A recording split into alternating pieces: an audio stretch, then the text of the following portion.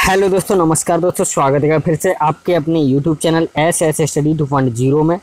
तो दोस्तों, आज हम देखेंगे केमिस्ट्री यानी कि रसायन विज्ञान के पार्ट आठ, जो कि दोस्तों पार्ट आठ में बात करेंगे। इम्पोर्टेंट थर्टी यानी कि तीस क्वेश्चन जो कि RRB group D NTPC SSC police जो कि अब किसी भी कम्पिटिटिव एग्ज़ाम की तैयारी कर रहे हैं तो आपके लिए इंपॉर्टेंट क्लास है। तो दोस्तों क्लास को बीच में मत छोड़िए, पूरा क्लास एंटर ज़रूर देखिएगा। चलिए चलते हैं क्वेश्चन नंबर एक, देखते हैं फास्ट देखेंगे, क्या दिखेगा। जंग का रासायनिक संगठन है तो क्या दोस्तों, इस क्वेश्चन का राइट आंसर क्या आ जाएगा? जंग का रासायनिक संगठन है तो याद रखिए क्या है? दोस्तों, इस क्वेश्चन का राइट आंसर आ जाएगा F E two O three dash X H two O option number C आपका राइट आंसर आ जाएगा।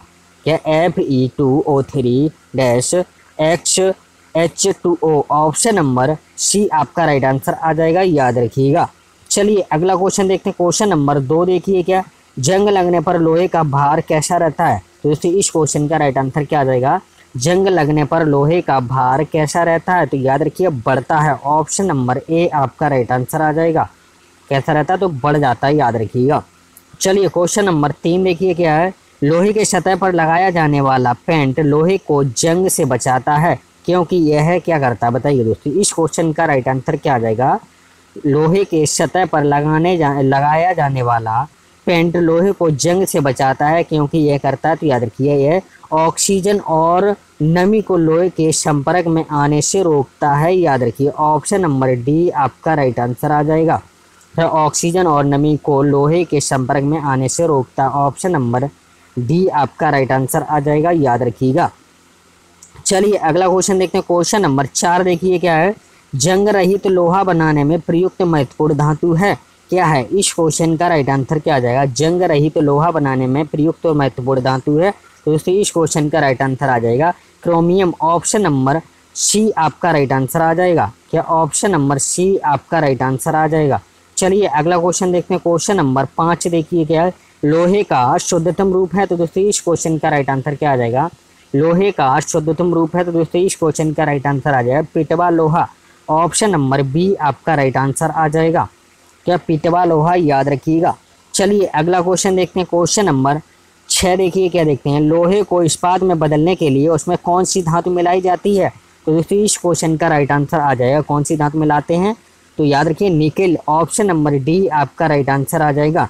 क्या लोहे को इस्पात में बदलने के लिए उसमें कौन सी धातु मिलाते हैं? तो निकल याद रखिएगा। चलिए क्वेश्चन नंबर सात देखेंगे।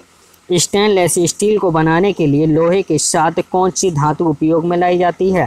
तो दोस्तों, इस क्वेश्चन का राइट आंसर क्या आ जाएगा? स्टेनलेस स्टील को बनाने के लिए लोहे के साथ कौन सी धातु उपयोग में लाई जाती है। तो दोस्तों, इस क्वेश्चन का राइट आंसर आ जाएगा। क्रोमियम ऑप्शन नंबर बी आपका राइट आंसर आ जाएगा। कौन सी धातु उपयोग उपयोग में लाते हैं तो क्रोमियम याद रखिएगा। चलिए, अगला क्वेश्चन देखते हैं। क्वेश्चन नंबर आठ देखिए क्या है, स्टील को कठोरता प्रदान करने के लिए बढ़ाई जाती है। किसकी मात्रा बढ़ाते हैं दोस्तों? इस क्वेश्चन का राइट आंसर क्या आ जाएगा? स्टील लेस स्टील को कठोरता प्रदान करने के लिए किसकी मात्रा बढ़ाते हैं? तो दोस्तों, इस क्वेश्चन का राइट आंसर आ जाएगा। कार्बन की मात्रा बढ़ाते हैं। किसकी? कार्बन की मात्रा बढ़ाते हैं। ऑप्शन नंबर ए आपका राइट आंसर आ जाएगा। किसकी मात्रा बढ़ाते हैं? तो कार्बन की याद रखिएगा। चलिए क्वेश्चन नंबर नौ देखिए क्या है। निम्न में कौन सा पदार्थ सर्वाधिक प्रत्यास्थ है? तो दोस्तों, इस क्वेश्चन का राइट आंसर क्या आ जाएगा? निम्न में से कौन सा पदार्थ सर्वाधिक प्रत्यास्थ है? तो याद रखिए, इस्पात यानी कि लोहा ऑप्शन नंबर बी आपका राइट आंसर आ जाएगा। चलिए, अगला क्वेश्चन देखते हैं। क्वेश्चन नंबर दस देखिए, क्या देखते हैं? यशद लेपन में लोहे पर किसकी परत चढ़ाई जाती है? तो दोस्तों, इस क्वेश्चन का राइट आंसर आ जाएगा। किसकी परत चढ़ाते हैं यशद लेपन में? तो जस्ता की ऑप्शन नंबर बी आपका राइट आंसर आ जाएगा। क्या यशद लेपन में लोहे पर किसकी पर चढ़ाते हैं तो जस्ता की याद रखिएगा। चलिए अगला क्वेश्चन देखते हैं। क्वेश्चन नंबर ग्यारह देखेंगे। हाइड्रोजन की खोज किसके द्वारा की गई थी? तो दोस्तों, इस क्वेश्चन का राइट आंसर क्या आ जाएगा? हाइड्रोजन की खोज किसके द्वारा की गई थी? तो दोस्तों, इस क्वेश्चन का राइट आंसर आ जाएगा कैबेंडिस के द्वारा। ऑप्शन नंबर बी आपका राइट आंसर आ जाएगा। किसके द्वारा? कैबेंडिस के द्वारा। ऑप्शन नंबर बी आपका राइट आंसर आ जाएगा। दोस्तों, कब की गई थी? तो याद रखिए, सत्रह सौ छियासठ में। कब की गई थी? सत्रह में याद रखिएगा। चलिए, अगला क्वेश्चन देखते हैं। क्वेश्चन नंबर देखिएगा। बारह देखेंगे। कौन सा तत्व सूर्य में सर्वाधिक पाया जाता है? तो दोस्तों, इस क्वेश्चन का राइट आंसर क्या आ जाएगा? कौन सा तत्व सूर्य में सर्वाधिक पाया जाता है? तो दोस्तों, इस क्वेश्चन का राइट आंसर क्या आ जाएगा? तो याद रखिए दोस्तों, इस क्वेश्चन का राइट आंसर आ जाएगा हाइड्रोजन कौन सा पाया जाता है? तो हाइड्रोजन ऑप्शन नंबर ए आपका राइट आंसर आ जाएगा। चलिए, अगला क्वेश्चन देखते हैं। क्वेश्चन नंबर तेरह देखिए, क्या देखते हैं? कौन सा तत्व ब्रह्मांड में सर्वाधिक मात्रा में है? तो दोस्तों, इस क्वेश्चन का राइट आंसर क्या आ जाएगा? कौन सा तत्व ब्रह्मांड में सर्वाधिक मात्रा में है? तो दोस्तों, इस क्वेश्चन का राइट आंसर क्या आ जाएगा? तो याद रखिए दोस्तों, इस क्वेश्चन का राइट आंसर आ जाएगा हाइड्रोजन यह है हाइड्रोजन ऑप्शन नंबर बी आपका राइट आंसर आ जाएगा, याद रखिएगा। चलिए, अगला क्वेश्चन देखते हैं। क्वेश्चन नंबर चौदह देखिए क्या निम्न में से किसे भविष्य का ईंधन कहा जाता है? तो दोस्तों, इस क्वेश्चन का राइट आंसर आ जाएगा किसको भविष्य का ईंधन कहते हैं तो हाइड्रोजन को ऑप्शन नंबर ए आपका राइट आंसर आ जाएगा। किसे कहते हैं भविष्य का ईंधन तो हाइड्रोजन को याद रखिएगा। चलिए अगला क्वेश्चन देखते हैं। क्वेश्चन नंबर पंद्रह देखिए क्या? वह तत्व जो अम्लों का आवश्यक तात्विक घटक है। तो दोस्तों, इस क्वेश्चन का राइट आंसर क्या आ जाएगा? वह तत्व जो अम्लों का आवश्यक तात्विक घटक है। तो दोस्तों, इस क्वेश्चन का राइट आंसर आ जाएगा। क्या है? तो हाइड्रोजन याद रखिएगा। ऑप्शन नंबर बी आपका राइट आंसर आ जाएगा। चलिए, अगला क्वेश्चन देखते हैं। क्वेश्चन नंबर सोलह देखिए क्या है। वह तत्व जिसका परमाणु क्रमांक तथा परमाणु भार दोनों एक समान होता है। तो दोस्तों, इस क्वेश्चन का राइट आंसर देखिए क्या आ जाएगा। वह तत्व जिसका परमाणु क्रमांक तथा परमाणु भार दोनों एक समान होता है तो दोस्तों, इस क्वेश्चन का राइट आंसर आ जाएगा। यानी कि हाइड्रोजन का ऑप्शन नंबर ए आपका राइट आंसर आ जाएगा, जो कि कितना होता है? एक परमाणु क्रमांक होता है और एक ही परमाणु भार होता है, याद रखिएगा। चलिए, अगला क्वेश्चन देखते हैं। क्वेश्चन नंबर सत्रह देखेंगे क्या हाइड्रोजन के समस्थानिकों की संख्या कितनी है? तो दोस्तों, इस क्वेश्चन का राइट आंसर आ जाएगा कितनी है? तो याद रखिए दोस्तों, इस क्वेश्चन का राइट आंसर आ जाएगा तीन होती है। ऑप्शन नंबर बी आपका राइट आंसर आ जाएगा। चलिए, अगला क्वेश्चन देखते हैं। क्वेश्चन नंबर अट्ठारह देखिए। निम्न में से कौन सा हाइड्रोजन का समस्थानिक नहीं है? तो दोस्तों, इस क्वेश्चन का राइट आंसर देखिए क्या आ जाएगा। निम्न में से कौन सा हाइड्रोजन का समस्थानिक नहीं है? तो इस क्वेश्चन का राइट आंसर आ जाएगा जो कि ओजोन याद रखिए, क्या है? ओजोन ऑप्शन नंबर डी आपका राइट आंसर आ जाएगा।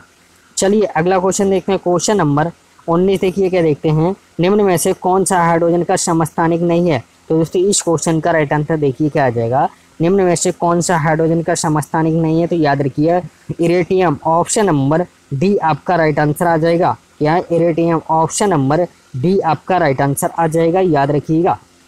चलिए अगला क्वेश्चन देखते हैं। क्वेश्चन नंबर बीस देखिए क्या देखते हैं, टाइटियम किसका समस्थानिक है? तो दोस्तों, इस क्वेश्चन का राइट आंसर आ जाएगा, टाइटियम किसका समस्थानिक है? तो हाइड्रोजन का है, याद रखिएगा ऑप्शन नंबर बी आपका राइट आंसर आ जाएगा। चलिए, अगला क्वेश्चन देखते हैं, नाभिकीय रिएक्टर में ईंधन का काम करता है तो क्या कौन करता है? नाभिकीय रिएक्टर में ईंधन का काम कौन करता है? तो दोस्तों, इस क्वेश्चन का राइट आंसर आ जाएगा आपका, जो कि यूरेनियम करता कौन करता है? यूरेनियम ऑप्शन नंबर बी आपका राइट आंसर आ जाएगा। चलिए, अगला क्वेश्चन देखते हैं क्वेश्चन नंबर बाईस देखिए क्या है। नाभिकीय ऊर्जा प्राप्त करने के लिए किस तत्व का प्रयोग किया जाता है? तो दोस्तों, इस क्वेश्चन का राइट आंसर आएगा। यूरेनियम का प्रयोग करते हैं नाव की ऊर्जा प्राप्त करने के लिए। ऑप्शन नंबर ए आपका राइट आंसर आ जाएगा। क्या ऑप्शन नंबर ए आपका राइट आंसर आ जाएगा? चलिए क्वेश्चन नंबर तेईस देखिए, क्या देखते हैं? निम्न में से सबसे भारी धातु कौन सी है? तो दोस्तों, इस क्वेश्चन का राइट आंसर क्या आ जाएगा? निम्न में से सबसे भारी धातु कौन सी है? तो याद रखिए यूरेनियम ऑप्शन नंबर बी आपका राइट आंसर आ जाएगा। चलिए अगला क्वेश्चन देखते हैं। क्वेश्चन चौबीस देखिए क्या देखते हैं। येलो केक नामक जिस वस्तु की सीमा पार तस्करी की जाती है, वह है क्या है? तो दोस्तों, इस क्वेश्चन का राइट आंसर क्या आ जाएगा? तो याद रखिए, uranium oxide option number B आपका राइट आंसर आ जाएगा। क्या है? तो uranium oxide option number B आपका राइट आंसर आ जाएगा। याद रखिएगा, क्या एलो केक नामक जिस वस्तु की सीमा पार तस्करी की जाती है तो क्या है? याद रखिएगा यूरेनियम ऑक्साइड याद रखिएगा। चलिए अगला क्वेश्चन देखते हैं। क्वेश्चन नंबर पच्चीस देखिए क्या मोनोजाइट बालू में, निम्न में से कौन सा खनिज पाया जाता है? तो दोस्तों, इस क्वेश्चन का राइट आंसर आ जाएगा। थोरियम निकाला जाता है मोनोजाइट बालू से। ऑप्शन नंबर सी आपका राइट आंसर आ जाएगा। क्या ऑप्शन नंबर सी आपका राइट आंसर आ जाएगा, याद रखिएगा।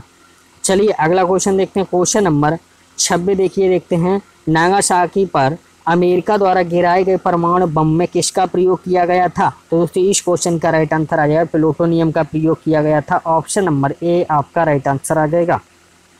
क्या नागासाकी पर अमेरिका द्वारा गिराए गए परमाणु बम में किसका प्रयोग किया गया था? तो प्लूटोनियम का याद रखिएगा। चलिए, अगला क्वेश्चन देखते हैं। क्वेश्चन नंबर सत्ताईस देखिएगा। वह वैज्ञानिक जिसने रेडियम की खोज की थी तो दोस्तों, इस क्वेश्चन का राइट आंसर आ जाएगा। किसने की थी रेडियम की खोज? तो दोस्तों, इस क्वेश्चन का राइट आंसर आ जाएगा। मैडम क्यूरी ने ऑप्शन नंबर बी आपका राइट आंसर आ जाएगा। किसने की थी? तो मैडम क्यूरी ने ऑप्शन नंबर बी आपका राइट आंसर आ जाएगा। याद रखिएगा। दोस्तों, कब की थी? तो याद रखिए अट्ठारह में। कब अट्ठारह में की थी मैडम क्यूरी ने? याद रखिएगा। चलिए, अगला क्वेश्चन देखते हैं। क्वेश्चन नंबर अट्ठाईस देखिएगा। किस वैज्ञानिक ने पोलोनियम की खोज की थी? तो दोस्तों, इस क्वेश्चन का राइट आंसर क्या आ जाएगा? किस वैज्ञानिक ने पोलोनियम की खोज की थी? तो दोस्तों इस क्वेश्चन का राइट आंसर आ जाएगा। किसने की थी पोलोनियम की खोज? तो याद रखिएगा मैडम क्यूरी ने की थी। किसने? मैडम क्यूरी ने। ऑप्शन नंबर बी आपका राइट आंसर आ जाएगा। दोस्तों, कब की थी? तो याद रखिएगा अट्ठारह में इसकी भी खोज की थी। कब? अट्ठारह में इसकी भी याद रखिएगा। चलिए, अगला क्वेश्चन देखते हैं। क्वेश्चन नंबर उनतीस देखिए क्या है। शोर सेलों में प्रयुक्त तो होता है। क्या होता है? शोर सेलों में प्रयुक्त होता तो दोस्तों इस क्वेश्चन का राइट आंसर आएगा सीजीएम प्रयुक्त होता। ऑप्शन नंबर सी आपका राइट आंसर आ जाएगा, याद रखिएगा। किसका प्रयोग करते हैं? तो याद रखिएगा सी का। चलिए क्वेश्चन नंबर तीस देखिए दोस्तों लास्ट क्वेश्चन देखेंगे। कौन सी धातु ट्रांजिस्टरों का एक महत्वपूर्ण अंग है? तो दोस्तों इस क्वेश्चन का राइट आंसर क्या आ जाएगा? कौन सी धातु ट्रांजिस्टरों का एक महत्वपूर्ण अंग है? तो दोस्तों इस क्वेश्चन का राइट आंसर आ जाएगा। कौन सी धातु है? तो याद रखिएगा जर्मेनियम ऑप्शन नंबर ए आपका राइट आंसर आ जाएगा, या ऑप्शन नंबर ए आपका राइट आंसर आ जाएगा, याद रखिएगा। तो दोस्तों, वीडियो आपको पसंद आई हुई तो दोस्तों एक कमेंट और लाइक करके ज़रूर बताइएगा दोस्तों। जो भी हमारे चैनल पर नए हैं, जो पहली बार विज़िट कर रहे हैं तो दोस्तों चैनल को सब्सक्राइब कर लें बेल आइकन ऑन कर लें, जो आपको नोटिफिकेशन समय पर मिलता रहे। तो चलिए चलते हैं दोस्तों, चलेंगे। जय हिंद, जय भारत बंदे मातरम।